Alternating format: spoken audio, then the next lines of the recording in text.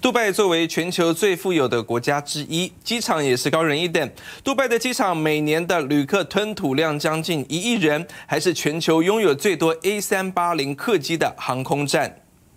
全世界最有钱的机场——杜拜机场有多富？这里年吞吐量近一亿人次。作为阿联酋航空的基地，购买的 A380 客机全停放在此，使杜拜机场成了全球有最多 A380 的航站。一架 A380 客机折合台币可是要一百一十七亿。飞机多，员工也得跟着增加。杜拜机场多达六万名员工，光是一年的人力成本和维修费就要花掉三百一十亿台币。杜拜机场一共有三。三个航站大厦，第三航厦为全球最大的航站楼，有全球唯一的黄金市场。作为杜拜机场中最大的航站楼，它足足有三百五十九个足球场大，每年有三千六百万人在此进出，光是运行李就很头痛。因此，它拥有全球最大的行李分拣系统，全靠一个地下控制室负责操作，最快可达每小时送一万五千件，以每秒七公尺的速度将行李送到机场。清洁也得快很准。这架 A 三八零客机有超过五百个座位，清洁人员仅有四十五分钟的时间，需快速清扫并除尘、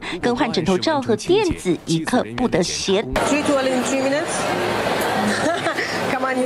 与此同时，更出动两百名维修员检查机轮，避免爆胎。为了确保机场跑道的安全，必须快速清理橡胶残留物。因为飞机的轮胎可是以时速两百四十公里速度着地，全靠一台约三千一百万的强力喷水器穿梭在机场跑道，利用高压水流把橡胶冲走。里里外外都是用钱堆出来的便利。